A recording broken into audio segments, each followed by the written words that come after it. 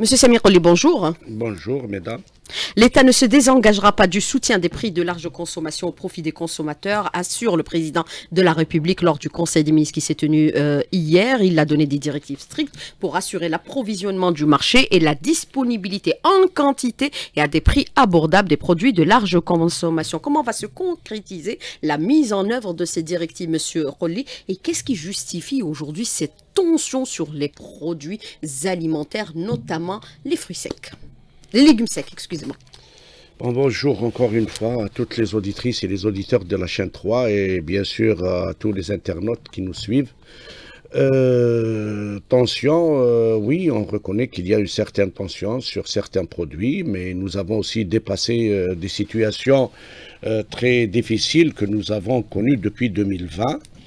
Nous révisons notre copie, bien sûr, pour assurer un bon approvisionnement du marché et une meilleure régulation, euh, une meilleure maîtrise. Il y a tout d'abord le travail de concertation et de coordination intersectorielle qu'il faut mettre en exergue et sous la houlette des hautes autorités de ce pays.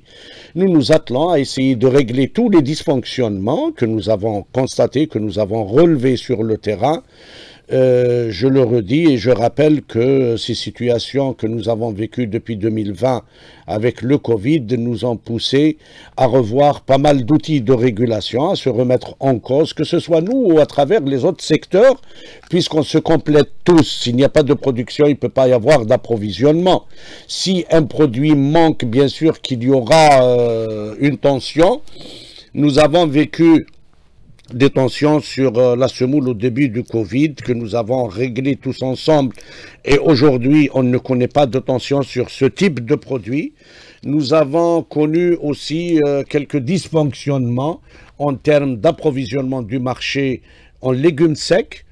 Euh, il faut aussi rappeler que l'OIC, son métier, c'est euh, d'importer, de protéger, d'accompagner les agriculteurs. Son métier, ce n'est pas la distribution et la commercialisation au détail. Et c'est pour ça qu'il y a eu, je m'excuse du terme, ce petit cafouillage.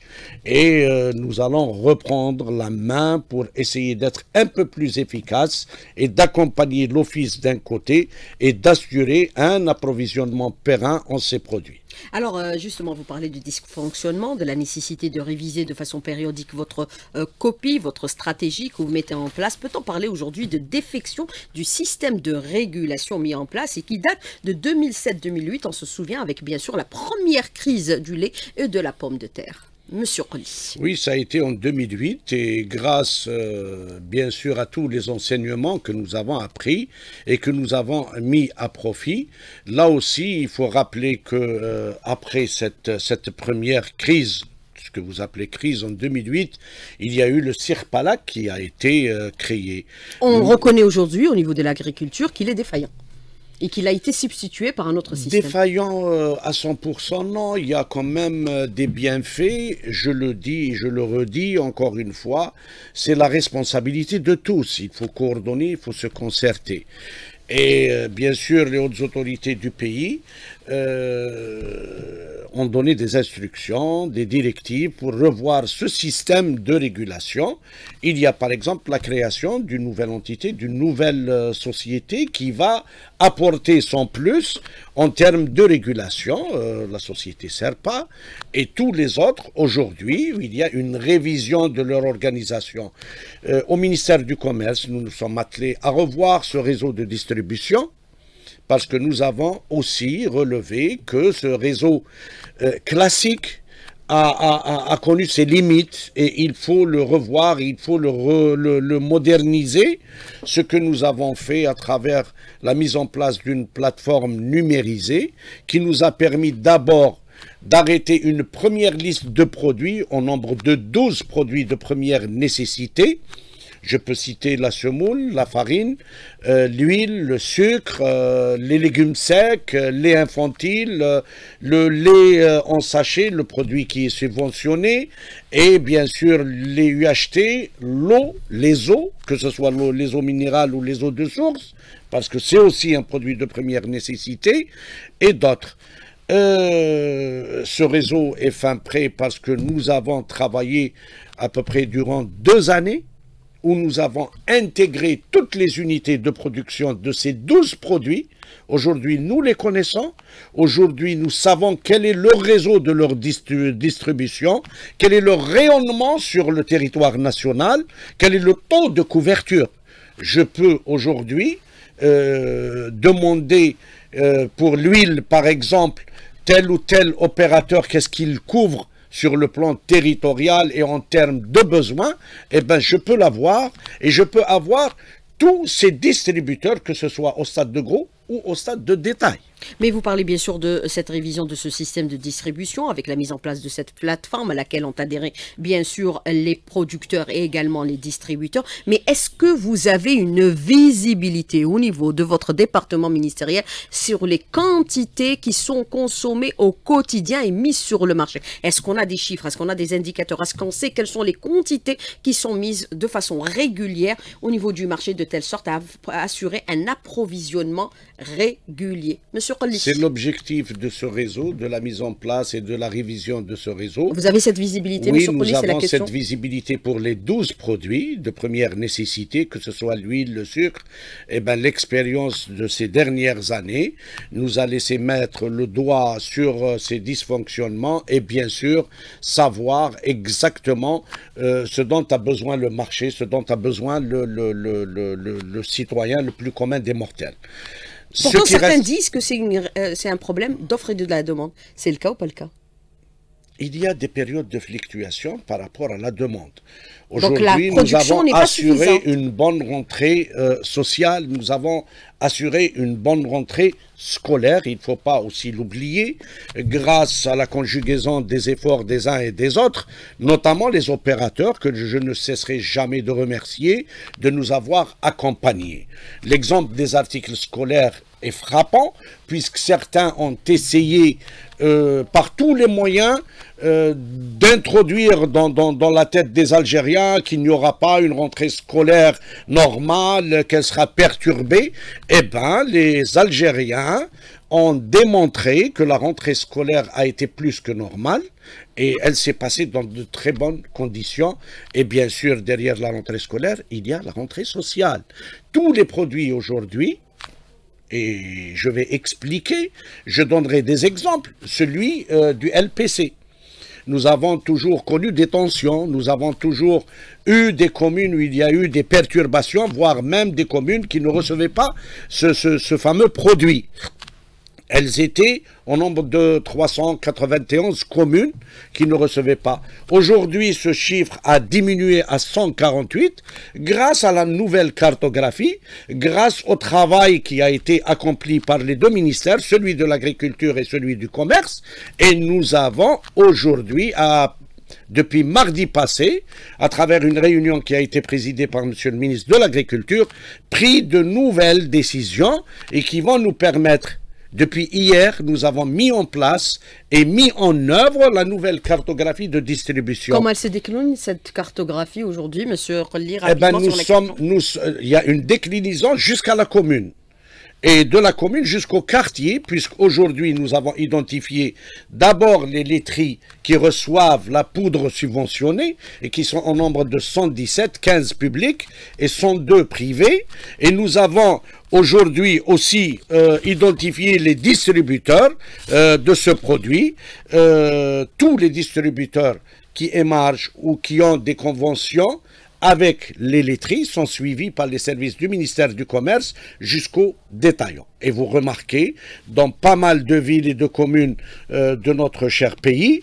aujourd'hui, la disponibilité du produit. Vous avez bien sûr réglé le problème de la disponibilité du lait en sachet pour que les auditeurs puissent nous suivre et comprendre. Que se passe-t-il aujourd'hui pour les légumes secs, Monsieur Colli Pourquoi cette tension? Pourquoi cette pénurie? Pourquoi cette hausse des prix? On ne peut pas parler de pénurie. Pénurie, c'est la disparition totale euh, du produit sur les étals et, même dans les stocks. On parle. Ce n'est pas le cas. Aujourd'hui, il y a eu une décision des hautes autorités pour donner l'exclusivité d'importer à l'ORC pour des raisons économiques. Nous avons toujours importé plus que les besoins du marché. Euh, aujourd'hui, l'OIC euh, importe exactement ce dont nous avons besoin.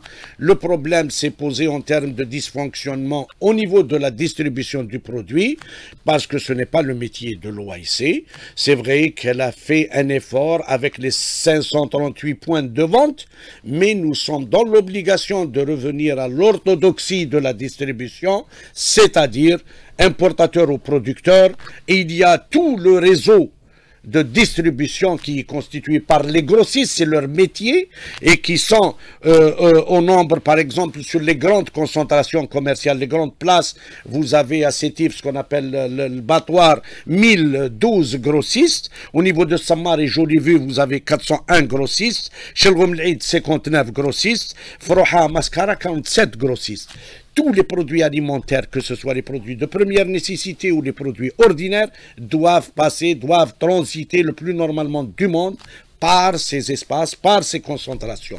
Donc nous allons revenir, bien sûr, à la distribution normale, régulière et ordinaire. Alors vous dites qu'il y a un problème de, euh, de distribution, pas un Seulement. problème de disponibilité. Quelles sont les quantités qui seront mises sur le marché aujourd'hui pour assurer la disponibilité à tous les niveaux, non pas seulement au niveau des 530 points de vente de l'OIC, mais à travers tout le territoire national, c'est-à-dire aller dans un magasin, acheter euh, ses lentilles, acheter ses pois chiches le plus normalement du monde. Monsieur alors, euh, alors nos collègues de l'agriculture ont pris toutes les dispositions pour assurer une disponibilité du produit les quantités, euh, monsieur Les quantités, nous allons atteindre jusqu'à 2 millions de quintaux avant la fin de l'année. Par l'importation ou la production nationale? Par l'importation, il y a une partie de la production nationale. Mais il faut aussi rappeler que depuis la prise de cette décision, et juste pour, depuis le mois d'août, pour assurer une bonne rentrée sociale et mettre à la disposition aussi de nos écoles qui assurent une restauration et euh, à la disposition de, des œuvres universitaires, c'est-à-dire les restos universitaires, euh, ces, produits. Euh, de août à ce jour, nous avons mis sur le, le, le marché 141 132 quintaux, quantité qui est considérable. Et bien sûr, nous allons aussi euh, revenir au conditionnement et euh, faire appel à tous les conditionneurs qui sont au nombre de 70 et qui ont été identifiés à travers la plateforme et qui ont un réseau de distribution constitué de plus de 200 distributeurs. Mais ces euh, dispositions vont influer aussi sur la baisse des prix, sur le lit pour les prochains jours? Pour Tous les, les produits importés par l'OIC, c'est des prix plafonnés par les pouvoirs publics. Et là, nous allons afficher et nous allons obliger tous ceux qui acquièrent ces produits d'afficher le prix. La marge aussi sera déterminée par voie réglementaire. Et c'est ça l'engagement des pouvoirs publics. Quand vous parlez d'afficher les prix, dans, durant les années 70, 80, même 90, il y avait des mécanismes qui permettaient d'afficher au niveau, par exemple, des grands points de vente, les prix euh, de la, des produits de large consommation, donner, c'est-à-dire une tendance euh, des euh, prix sur les marchés. Est-ce que vous allez renouveler cette expérience en mettant en place une plateforme qui permet d'avoir des indicateurs réels sur les prix réels, de telle sorte, est-ce qu'on y va, sur, on va sur le ministère du Commerce, on trouve cette plateforme, on saura que ces prix sont spéculatifs, qui sont pratiqués sur le marché, puisque les prix, vous les avez affichés à la base. Monsieur Rolli, rapidement Tout sur la question. Tout d'abord, euh, l'information du consommateur, c'est un droit universel et qui est consacré par voie de loi et par voie réglementaire en Algérie. Je vous rappelle qu'il y a la loi sur les pratiques commerciales et la loi sur la protection du consommateur et bien sûr le fameux décret 13378 qui consacre ce principe et qui consacre ce droit.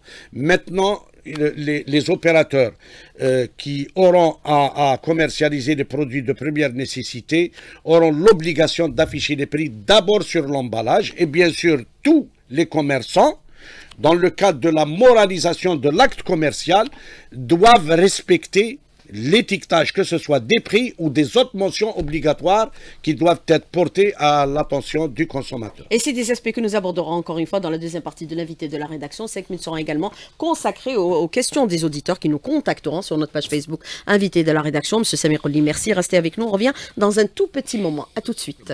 Alors, euh, Monsieur Samiroli, moi je voudrais revenir avec vous sur plusieurs aspects pour cette deuxième partie de l'invité de la rédaction. Vous avez annoncé dans la première euh, partie qu'aujourd'hui, euh, il est fait pour les producteurs d'afficher des prix euh, sur l'emballage.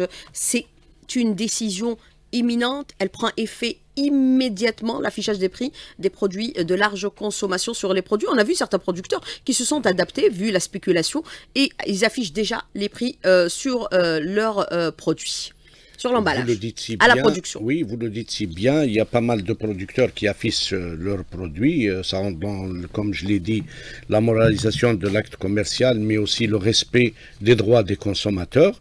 Oui, nous, là, nous allons commencer à le faire déjà pour les légumes secs, puisque tout a été décidé, les prix plafonné, puisque c'est l'OIC qui, qui euh, se charge de l'importation.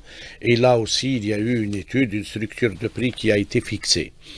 Pour les autres produits euh, aussi, tous les produits dont les prix sont réglementés, euh, non seulement l'affichage sur les emballages, mais aussi l'affichage au niveau des commerces, au niveau de tous les supports possibles et imaginables qui peuvent aider et accompagner le consommateur à effectuer des achats raisonnés et raisonnables. Vous allez contrôler, vous allez surveiller, Monsieur euh, Semiroli, puisqu'on a vu qu'au niveau des marchés, on n'affiche pratiquement plus les prix des produits euh, alimentaires comme les fruits et légumes et également les viandes. Monsieur Semiroli, vous êtes contraint de poser la question au Je vous assure qu'il y a un respect quand même de l'affichage des prix. Euh, par endroit, non, Oui, par endroit, peut-être. Il y a des exceptions ici et là, mais euh, toutes les opérations de contrôle sont consacrées par des PV qui sont transmis à la justice ou qui font l'objet de paiement d'une amende dans ce qui concerne le défaut d'affichage, le défaut de facture aussi. Là, on y veille et nos agents sont sur le qui-vive, sur le terrain et euh, le résultat est devant vous. Quand on parle aujourd'hui, par exemple, des mécanismes de régulation, est-ce que l'importation en substitution, bien sûr, à la production, peut être un mécanisme de régulation également, Monsieur euh, Semiroli, puisqu'on était entre interdiction, régulation, on n'arrive pas à nous en sortir Tout d'abord. Pour, éclairer l'opinion publique, il n'y a pas d'interdiction, et je crois que euh, Monsieur le Président de la République l'a confirmé à plusieurs occasions, et pas plus tard qu'hier. Et là aussi, euh, on veille à ce que ces décisions soient respectées. Euh, c'est un mécanisme, c'est un outil de régulation, comme le font tous les pays du monde. Je vous donne un exemple. L'Algérie a donné aujourd'hui, euh, jusqu'à aujourd'hui, jusqu'au 1er, exactement 1er octobre, 1 milliard 28 millions 500 000 dollars pour la pièce détachée. 1,5 milliard de dollars pour l'importation de la pièce détachée. Même pas 5, non. Hmm. Un, milliard, disons. Et en 2022, par exemple, euh, ou avant, c'est entre 400 et 500 millions. C'est du simple au double. Pour d'autres produits, je citerai les articles scolaires parce que nous étions dans l'obligation d'assurer une rentrée scolaire euh, normal, ordinaire, dans le calme et la sérénité. Disponibilité des... Disponibilité. et je remercie l'association des importateurs et l'association des producteurs des articles scolaires qui ont eu un comportement citoyen et qui ont accompagné les pouvoirs publics pour assurer cette rentrée scolaire 2023-2024, auquel on a accordé 79 732 000 dollars comparé à l'année dernière où on avait accordé que 55 millions. Pour les produits alimentaires. Voilà les preuves qu'il n'y a pas d'interdiction, mais beaucoup plus. On a pris du recul, nous avons effectué des analyses, nous avons vu le marché, le comportement du consommateur et ainsi de suite. Mais là aussi, les décisions ne sont pas prises au pif. Tout d'abord, il y a les programmes prévisionnels déposés par les importateurs. Il a des prévisions. Il a un marché. Et c'est à lui de maîtriser ce marché. Il a un réseau de distribution. Il doit respecter un cahier des charges. Et là aussi, nous avons euh, des outils pour suivre un peu ce qui se passe sur le marché. D'abord l'état des stocks et l'état des ventes et nous effectuons des opérations de contrôle, mais aussi d'observation du marché, que ce soit aux frontières ou sur le marché.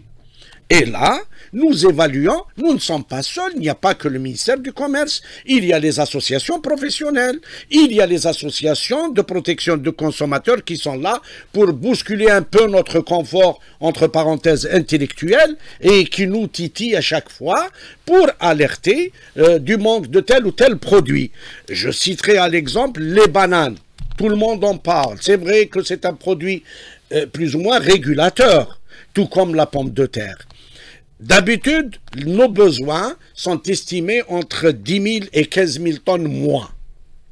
Et tout récemment, il y a deux jours, les deux ministères se sont réunis, ils ont octroyé jusqu'à 100 000 tonnes pour ce qui est du quatrième euh, trimestre 2023.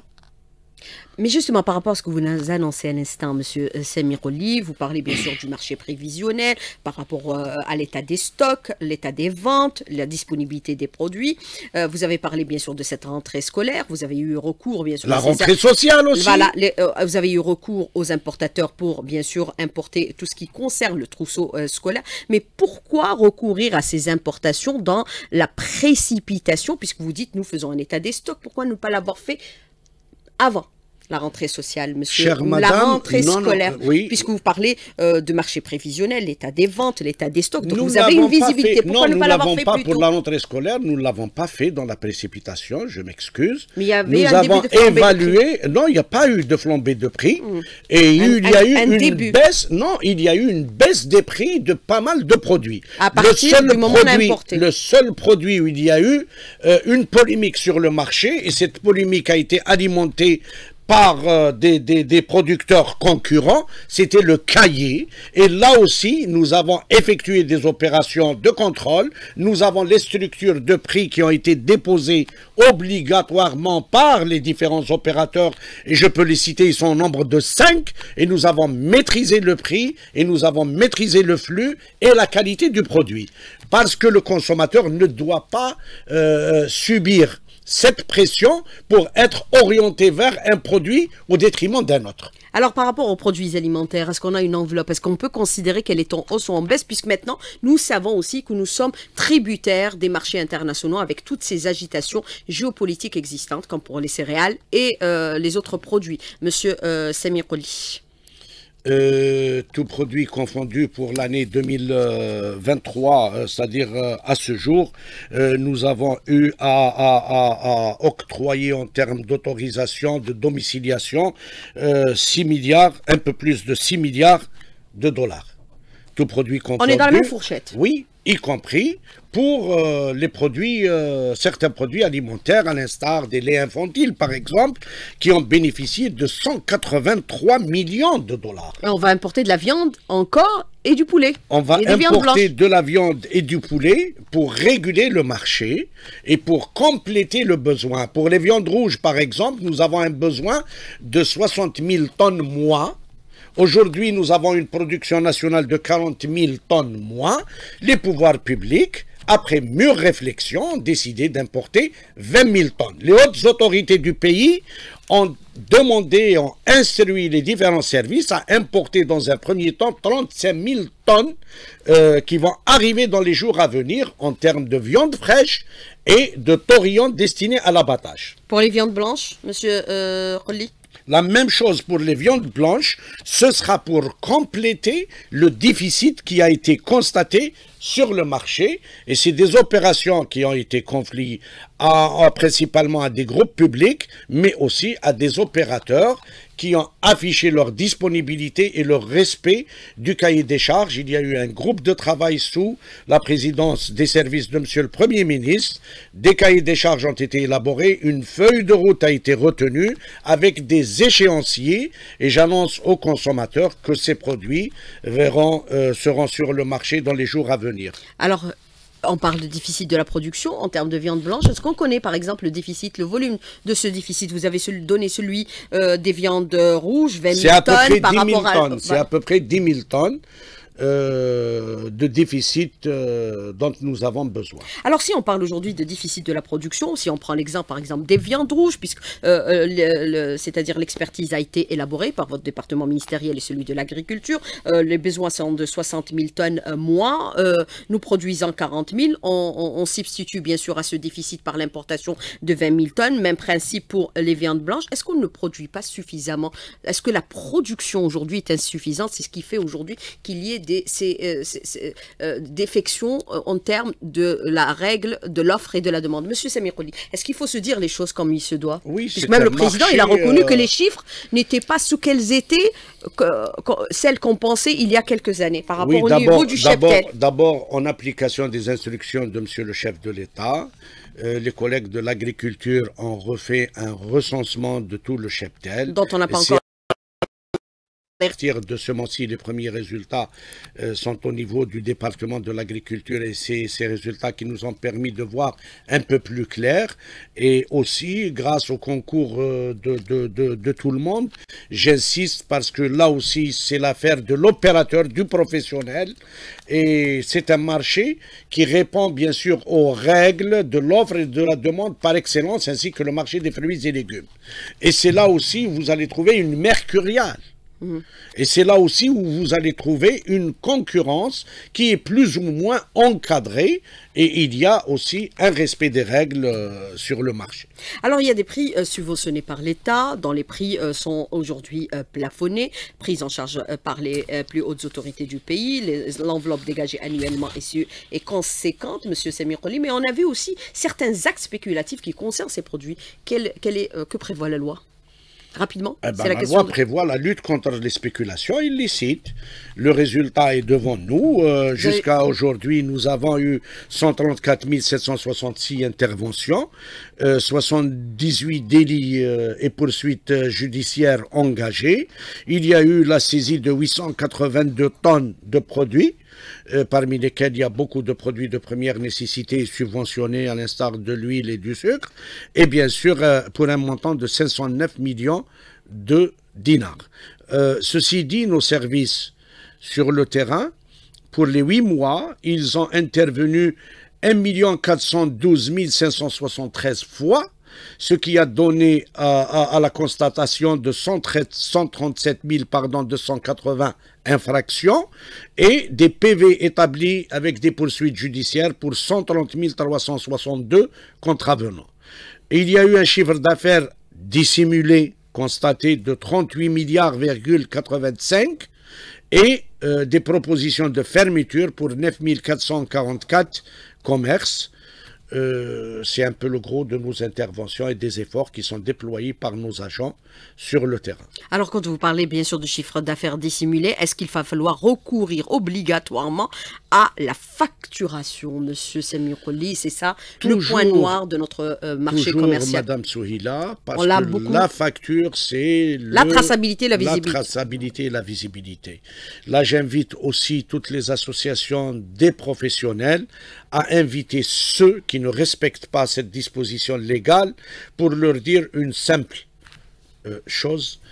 La facture garantit aussi les droits du producteur, garantit les droits du commerçant. Il va y avoir beaucoup de dispositions qui ont été proposées par les différents secteurs pour accompagner les opérateurs en guise de facilitation et de simplification, mais aussi en guise de moralisation de l'acte commercial. Il va y avoir aussi beaucoup de mesures incitatives qui seront sur la table du gouvernement en termes de fiscalité, surtout pour les produits de première nécessité. Euh, aujourd'hui, il y a eu aussi pas mal de mesures, eh bien, euh, il va y avoir d'autres mesures complémentaires. Les outils que nous mettons en place, pas plus tard qu'hier, nous avons obtenu l'accord pour un projet de texte en ce qui concerne la grande distribution, parce qu'il faut aussi parler de ce créneau. Il faut faire la différence entre la consommation des ménages et la consommation professionnelle.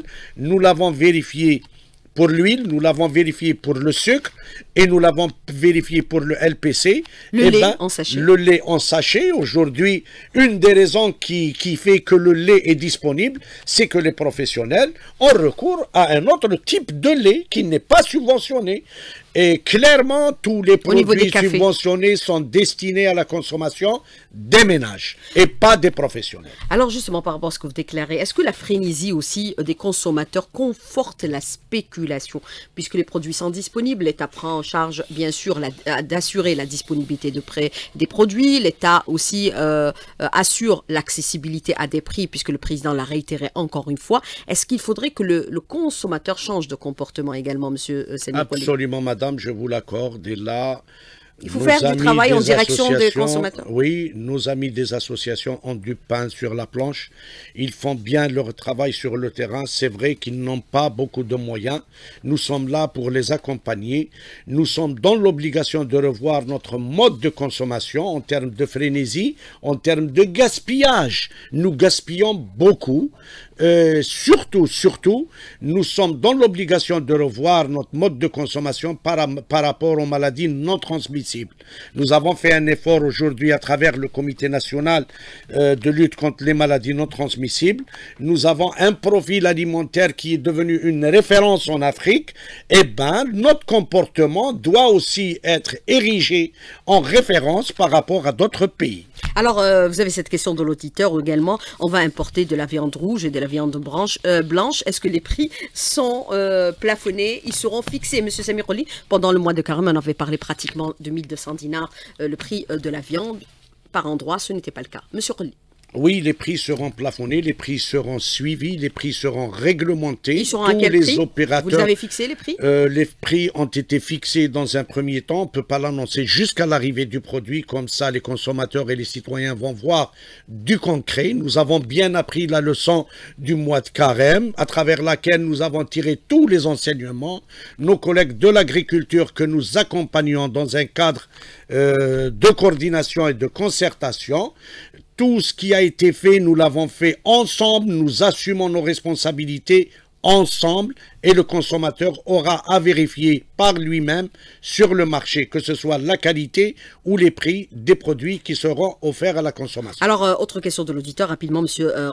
Est-ce que le fait d'avoir donné l'exclusivité de l'importation à l'OAIC pour les légumes secs est à l'origine de toutes ces perturbations que connaît euh, le marché actuellement? Monsieur Samir Rolly, rapidement sur la question de l'auditeur. Non, pas du tout. Tout d'abord, il y a eu une résistance au changement, une résistance à cette décision de la part de certains et que nous aurons à, à- à- à- à découvrir et que nous aurons à, offrir à l'opinion publique. Vous parlez de résistance, de quel type de résistance, Monsieur Samir Eh ben, ceux qui bénéficient de l'importation de ce, de ce type de produit. Donc, ils sont à l'origine de toutes ces perturbations que nous connaissons aujourd'hui? En quelque sorte, oui. Et bien sûr, il y a eu euh, toutes ces fake news à travers, euh, bien sûr, la toile, qui ont fait que euh, il y a eu une petite frénésie et, une demande euh, élevée sur le produit.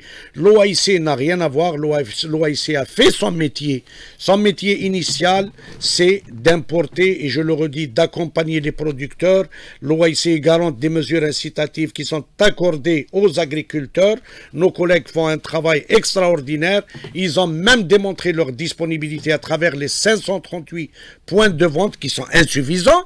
Il y a eu le concours d'Agrodiv aussi euh, qui a fait beaucoup d'efforts, mais là aussi c'est insuffisant.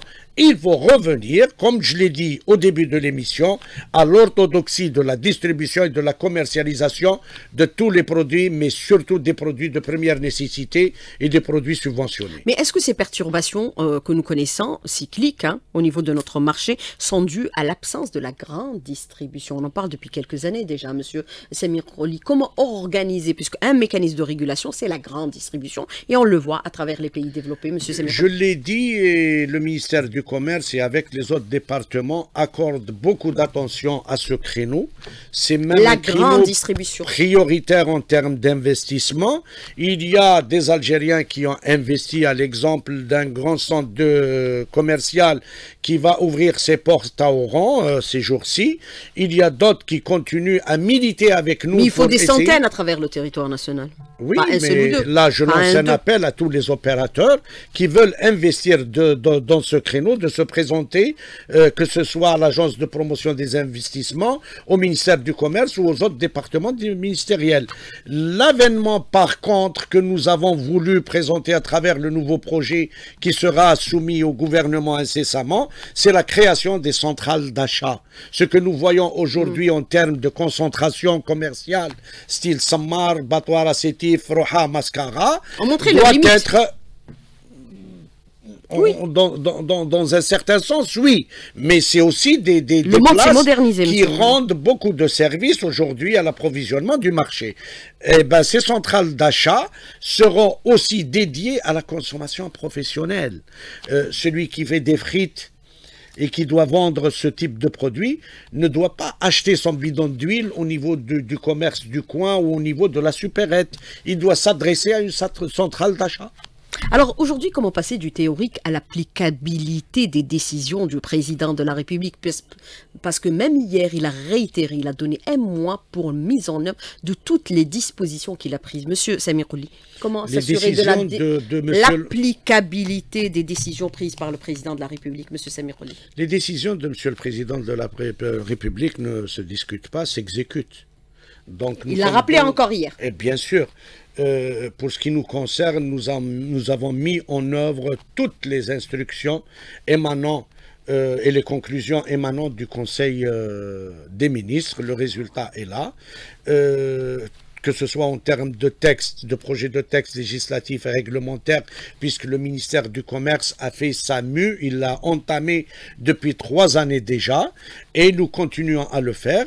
Euh, aussi, nous essayons de contribuer positivement à l'amélioration du climat des affaires par le biais de la simplification des procédures administratives. Même au niveau d'Algex, il y a eu des changements. Il y aura des changements. Et, et- et oui, euh, c'est une dynamique qui a été engagée, qui n'est pas prête de s'arrêter, et ça va insuffler une certaine dynamique et un nouveau souffle, que ce soit au niveau du secteur ou au niveau du marché. Sauf que je fais un appel et je lance un appel à tous les opérateurs à travers leur association.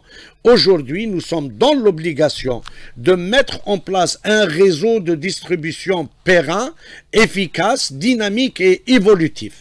Alors euh, justement, Monsieur Semiroli, rapidement sur la question de l'auditeur, très rapidement, si on s'en tient à vos propos, le poulet ne sera plus à plus de 650 dinars le kilogramme dans les prochains jours, les tout prochains jours. Oui, j'ai dit qu'il y a eu C'est un, un engagement, déficit. monsieur Oui, c'est un engagement euh, à la place de mes collègues du ministère de l'Agriculture qui s'attellent à présenter un produit concurrent, loyal et marchand sur le terrain. Le soutien aux agriculteurs va booster encore davantage la production nationale puisqu'il y a Je eu que- des je- mesures incitatives qui ont Je été adoptées hier été- par le président de la Je République. pense que ça a été une des fortes euh, instructions Il faut et soutenir notre recommandations agriculture. Voilà, du Conseil des ministres hier, bien sûr, avec euh, ce qui a été pris comme décision hier. Monsieur Semiroli, merci d'avoir répondu à nos Merci questions, d'avoir été en direct avec nous ce matin dans le studio. Merci beaucoup. Bonne Merci. journée. À Au revoir. bientôt. Au revoir et à demain.